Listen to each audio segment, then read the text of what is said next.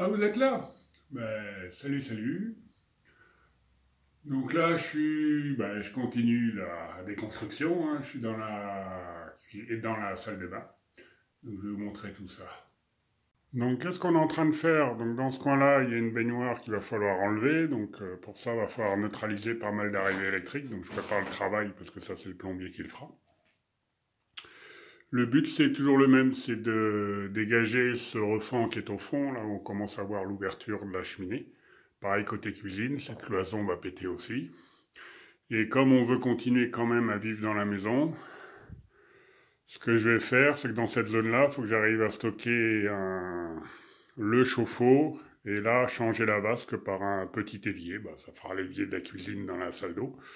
Parce que le but, c'est surtout de garder la douche qui est ici douche qu'il va falloir couper à ce niveau-là parce que je vais avoir mes j'ai mon solivage à changer.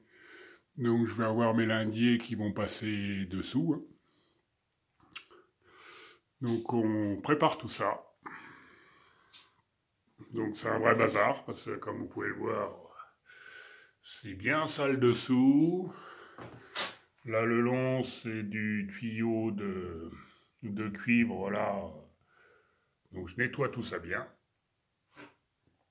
Et après on va continuer tranquillement.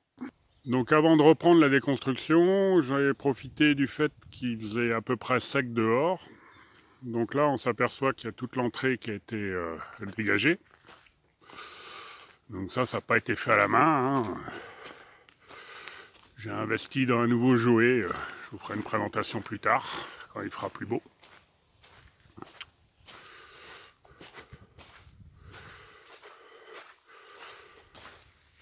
Donc là, on s'aperçoit que les matériels agricoles sont toujours là, ils n'ont pas changé.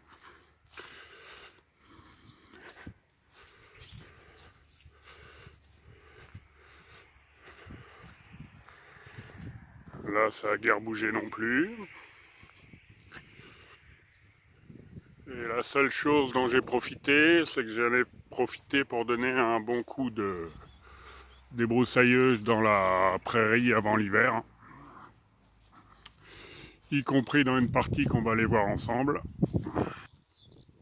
qui est celle-là.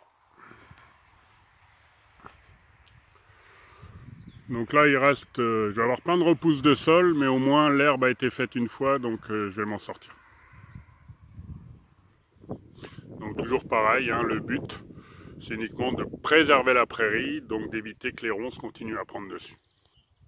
Chose sympa qui n'était pas prévue sur le terrain, ben, j'ai des champignons, je suis pas obligé d'aller en forêt. Là, une petite coulmelle et j'ai pas mal de mousserons aussi. Là, pareil, la zone nord, je l'ai retraité aussi. Hein. Donc pareil, un coup de débrousse de manière à ce que ça soit propre cet hiver. Et d'ailleurs, dans cette zone-là, j'ai un petit souci, je vais vous montrer ça. Là, j'ai les agents qui ont fait des graines. Toutes les graines sont tombées au sol et comme j'avais bien nettoyé le sol, ben, il y a toutes les graines ont germé. Donc je me retrouve avec une forêt de petits ajoncs comme ça. Et là, mis à part les arracher, les arracher un par un individuellement, j'ai pas trop de solutions. Et le problème, c'est que si je les laisse comme celui-là trop grandir, ben après, je pourrais plus les arracher, donc je serai embêté.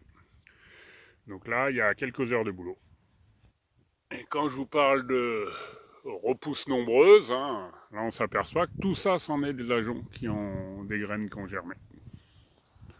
J'ai sorti toutes les roues que j'avais dans le hangar, plus derrière c'est des bouteilles de gaz, des cuves.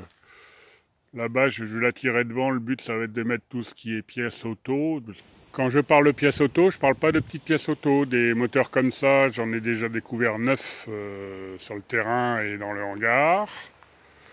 Et après, vous avez des amortisseurs, des disques de frein, des jantes, euh, des leviers de vitesse, euh, tout ce qu'on en passe. Donc le but c'est de regrouper tout ça pour qu'il y ait quelqu'un qui passe les récupérer. Donc j'ai fait aussi, on a fait un peu de place dans le hangar. Le but c'était de rentrer le nouveau jouet qu'il va falloir dompter. Donc pas facile, mais bon, un investissement assez lourd, mais je me suis dit que vu le nombre de terrassements qu'il y avait et que la pelle et la pioche, c'est pas trop notre truc. Surtout notre dos apprécie pas. Euh, prendre une micropelle le temps des travaux, bah, on verra bien l'usage. Et si on s'en sert pas, bon, on la revendra. Donc là, il y a encore du boulot. Du tri, du rangement, du vide. Toujours la même galère. Donc voilà pour ce petit tour rapide de l'avancée. Euh, ben, on n'a pas beaucoup de temps en ce moment. Donc ça avance pas bien vite. Hein, mais la priorité, c'est l'isolation avant l'hiver prochain. Euh, donc, euh, comme ma ferme est prise dans... J'ai des solives qui font office d'entrée et qu'on a prévu de refaire le solivage et qu'il faut le faire avant de mettre la charpente en charge, euh, ça veut dire qu'il faut refaire le solivage, les renforts de charpente, et après simplement on pourra faire l'isolation. Puis ce refend à investiguer sérieusement. Hein. Cette ouverture de cheminée, donc euh, il y a une bonne déconstruction encore à venir, un petit peu de chaud pour étanchéifier tout ça. Et après, on pourra s'attaquer au, solivage. Donc, euh, ça va être long, mais ça avance. Sur ce, je vous dis à je sais pas quand, parce que comme ça avance pas bien vite, ça sert à rien de faire des vidéos sur pas grand chose. Hein. mais dans tous les cas, à bientôt. Allez